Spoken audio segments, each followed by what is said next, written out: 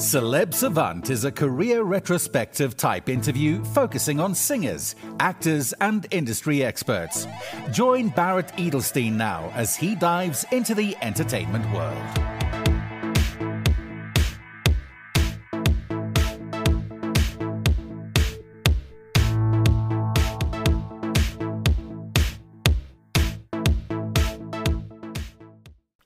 Petzer has become one of South Africa's most prolific comedians and content creators. This guy pops up everywhere, from national talk radio to news features, social media feeds, and international online news publications.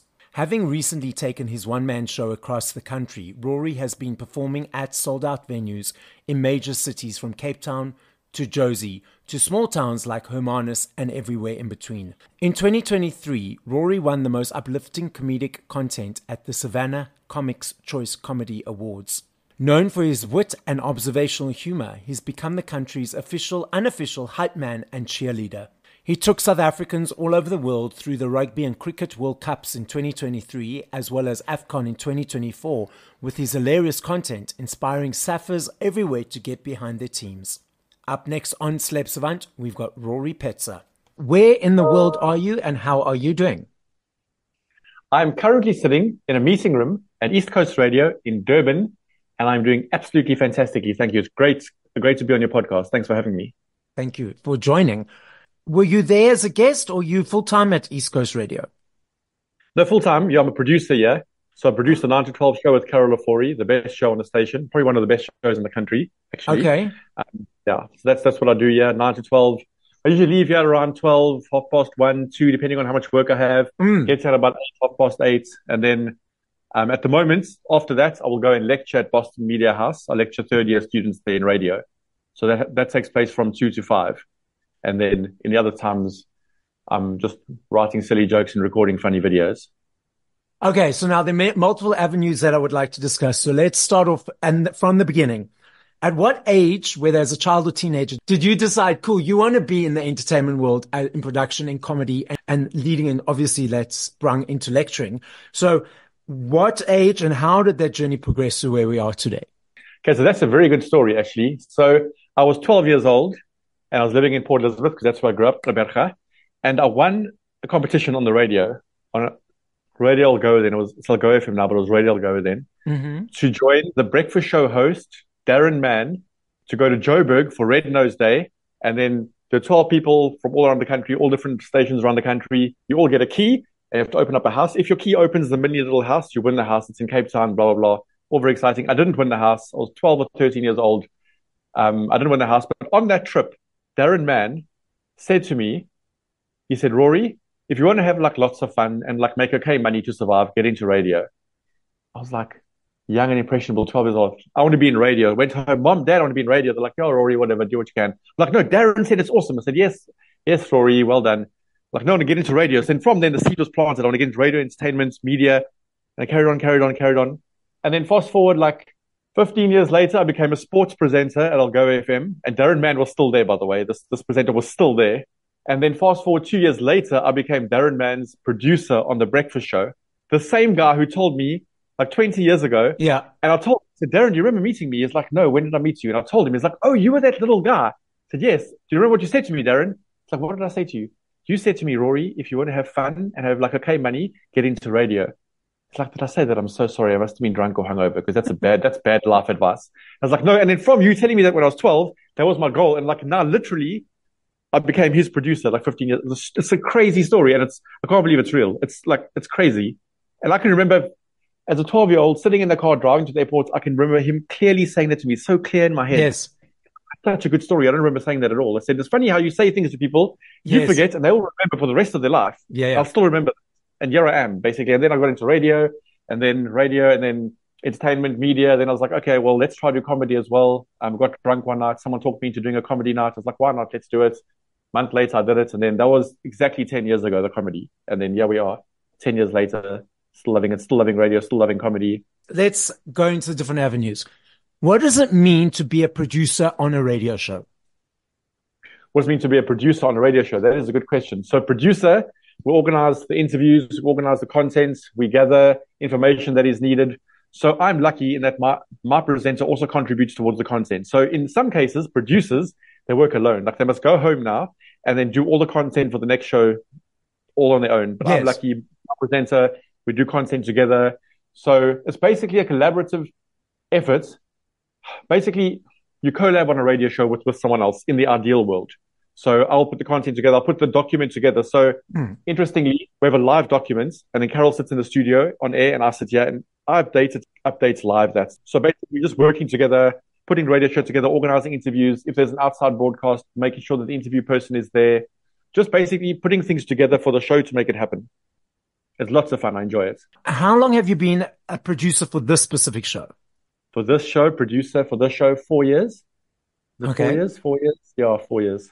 And previously to that, you were on which show? Uh, previous to that, I was producing a drive show at East Coast Radio. And previous to that, I was producing the breakfast show at Algoa FM. So how does it work? So you mentioned you were previously dr- producing the drive show. So mm-hmm. what changes that then leads you to now produce the morning show? Okay. So what happens is every few years or every so often radio shows are, are refreshed and then different people come on, different presenters come on. So I was part of a team that did the drive show and that team was completely disbanded when the, when, when the presenters left and they built a whole new team from scratch. They oh, well, Rory isn't the right person for this team. Let's find someone else for that team. Rory's the right person for this time. So it's okay. basically like horses for courses, really. Okay, understood. Yeah. Okay, now let's dive. You said that you've been doing comedy for 10 years after a drunken agreement or hangover agreement yes. to do. yes. So it's crazy. What do you enjoy about doing stand up comedy? For me, the best part about doing stand up comedy is, especially in South Africa, and um, I'm known for bringing light, especially when there's darkness, especially when there was load shedding and all that. We haven't had load shedding in a while, which is very suspicious, actually. But I, I like to remind I like to remind South Africans that, like, as much as there is so much drama and kak and all that stuff, there is so much good in this country, and we are yes. such good people. When exactly. we all come together, it's fantastic. And when I thrive on events that South Africa have or host, so Rugby World Cup last year, AFCON last year, Cricket World Cup, T20 Cricket World Cup, I, I thrive when I see South Africans coming together for a good cause, and I just love it.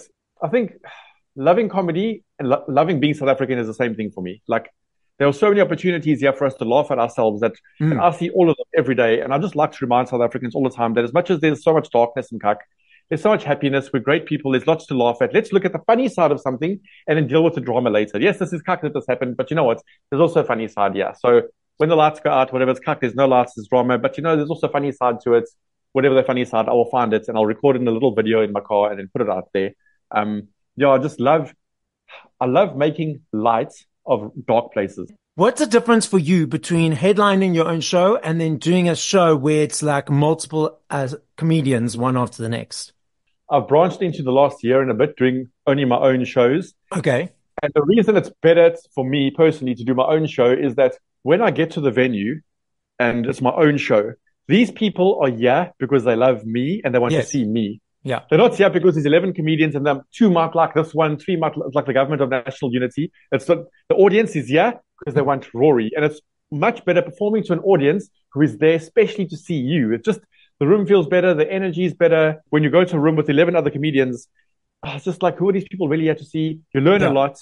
But for me, it's better in the space that I'm in right now. After doing 10 years of comedy, I like going to a room confident that these people bought tickets just to see me and yeah. they're here for comedy. Okay. So I'm not going to do my 10 minutes of comedy and might get lost on some people. Like, I don't know, I'll put together a solid hour of comedy and a year to watch me do that. And that's why they are. It's much better for me. And how long does it take you to prepare that hour of comedy? Well, that's a very good question. So an hour of comedy takes years and years and years to prepare because you're doing con- different content all the time. You're trying different content all the time. And then some things work, some things don't. So every comedy show I do, I record it on my phone, a voice recorded. And then the next morning I listen back because you think, oh, I, I smashed it last night. Everyone laughed all the time. And you listen back, you're like, no, they didn't. They were laughing like four times. Like maybe in your head you were loving it, and you listen back, you're like, okay, that joke worked. That and I, oh, I did a one liner there that I didn't plan. It really worked. Let me save this one liner over here and use it again. So it's a work in progress. My my comedy sets, as much as they will be sort of the same when you work on one hour, they're never exactly the same. There's always other stuff that you throw in there. Yes. And then you develop it into another another angle, another angle, another angle. So it's not an easy question to answer. it takes years and years and years of like different ideas and different concepts to put a thing together. And then you sort of work around that and you mold it. So it takes a long time, a long time of practice. And people who start comedy now and they go, Oh, I'm going to be rich and famous and do comedy in a year's time. No, you're not. Like you're not going to be anything near. Like this thing takes a long, long time. I think Dave Chappelle, one of the big comedians, he said even after 10 years, it finally started to click. And I can completely relate to that. After doing 10 years, only now is like, oh, that's how, that's what, that's how it works, this whole thing. So it takes a long time to finally find, find yourself and find a group. Because also in the beginning, when you're doing comedy, you watch a lot of other comedians and you try and be like them. And it's the biggest fail in the world trying yes. to be like someone else because you're not that person. Like Ricky Gervais is my favorite comedian in the world. I want to be like him. No, Ricky Gervais's jokes do not land in South Africa very well. Like it's nice. He's funny where he is and it's great to idolize him and all that, but you're not, you're not him. Like yeah. don't. And I made that mistake for the first few years. Like, I want to be like this guy. Like, no, no, no. No, you are you. Yes. You're Rory. So it's interesting because when I first started Celeb Savant, so many people say to me, okay, I must watch this person or this person or how they do yeah. that. And I, at the beginning, said no, because no. I'm very much a person that when I watch something and I'm doing something in sort of in the same vein, I start doubting in the past. I've learned now. In the past, I'd start doubting my authenticity and who I am. And I'd be yes. like, okay, well, now I need to emulate that, but that's not who I am. So it doesn't 100%. work. And then if yeah. people don't enjoy it. So from the beginning, I decided, no, I'm not watching anyone else. I'm just doing me. And that's yeah. l- allowed for the success of the show. Do you do audience work? Yes, I do quite a lot of audience work. I love doing audience work because okay. it also breaks away from your normal routine. So you have like, let's say a 60 minute set, but then you do it sometimes and it takes an hour and 20 minutes. Like, why did I take? Oh, because I spoke to that person, that person. I love doing audience work. Also makes people feel part of the room. I never rip people off though. I'm not a person who like teases people. They didn't come there to be ripped off and yeah. be teased. I'll just talk to people like, oh, where do you work? Oh, where are you from? Oh, and okay. try and make it funny.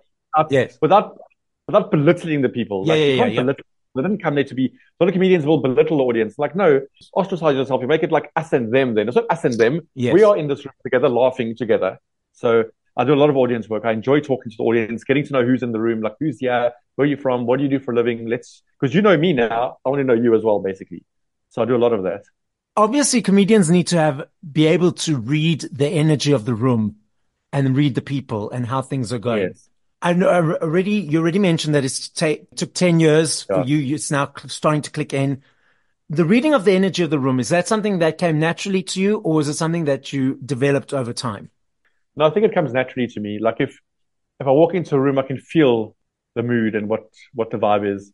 I don't think I've taught myself that. Oh, or maybe I did actually, I don't know. But I think it came naturally. Like I think it's something I picked up. I've just always had.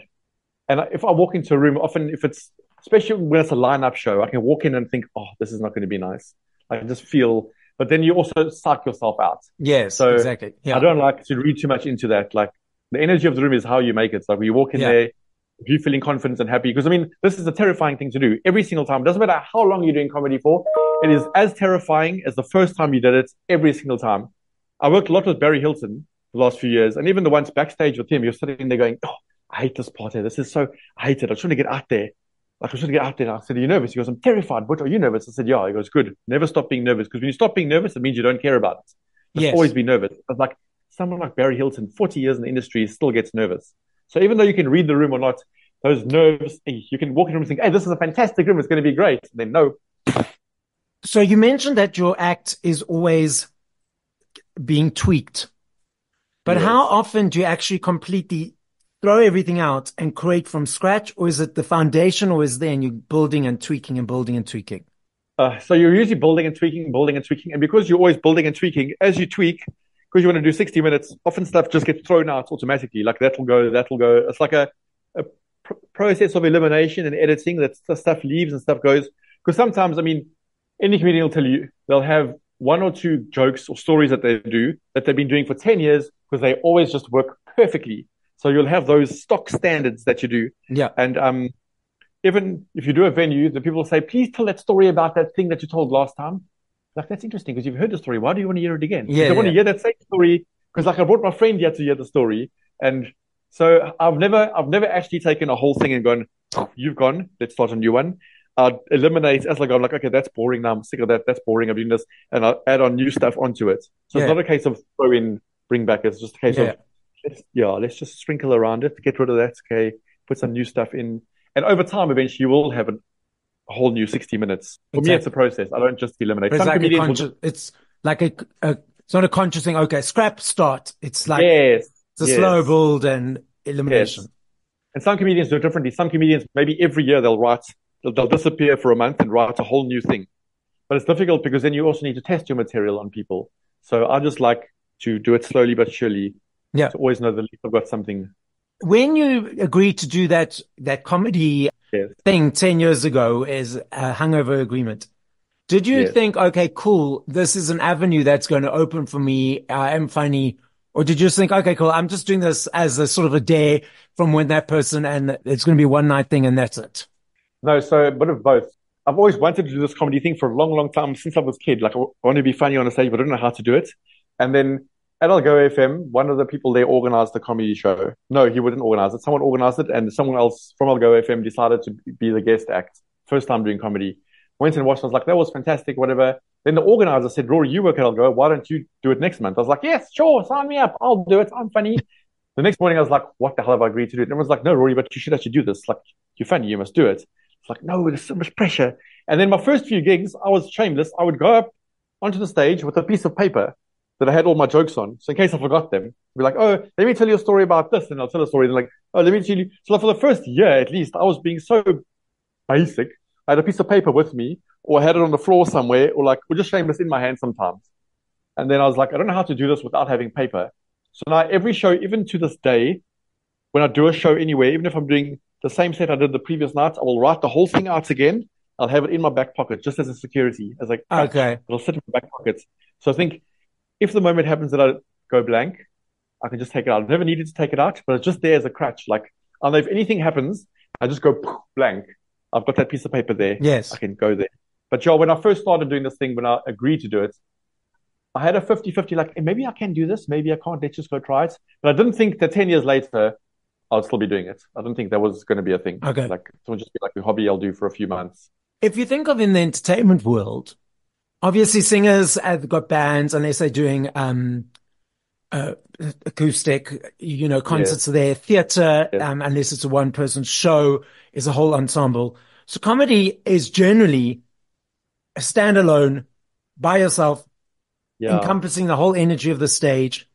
How do you maintain energy and balance to create that energy for the entire period of time? Sometimes it goes by so quickly that you don't even know how it happens. And sometimes it takes really, really long, depending on, on, on how you're doing. And I think the audience mirrors you. So that one of the first things I learned when I was doing comedy is if you go into the room feeling nervous and anxious, the audience is going to feed off that. So yeah. whether just go in there and just feel confident and the energy you exude is the energy they're going to also absorb and like they're going to take. It should be a long time to learn that. Like, don't be anxious. Don't be nervous. When you walk out there, you're nervous. The audience is also like, also like cringing with you. Like, Ish, this is, this is not a nice experience for anyone. So I try, like, before I go on stage, I try and be like, shake around, like, ah, oh, it's fantastic, like, jump around and stuff. And then go out with like, just like ah happy and then when you and I always have a song that plays loud and then you're like you start the energy right and it just as you talk as you go as you go you're like okay this is nice it takes a while for me it takes about two minutes before I feel completely comfortable but when I do feel comfortable then I'm like okay now we can do this for days like I've got yeah. stories for you guys I'm going to tell you stories for decades hope you're comfortable okay so now let's go into your other thing you, you lecture in at Boston City campus and you lecture in radio third year radio students here. So what does that mean when you say you lecture radio? What is it?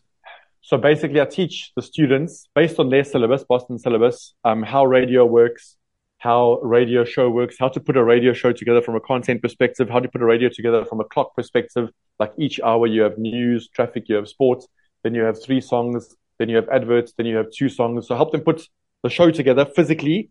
Then we go to the studio and we put the show together practically as well. So we sit there and we record shows once a week, record a three hour show. I crit them on the content. I crit them on the um, delivery of it. So it's basically taking people, well, they're third years, they do know stuff about radio. It's taking second years into the working space. That's the bridge. Like you're a second year now.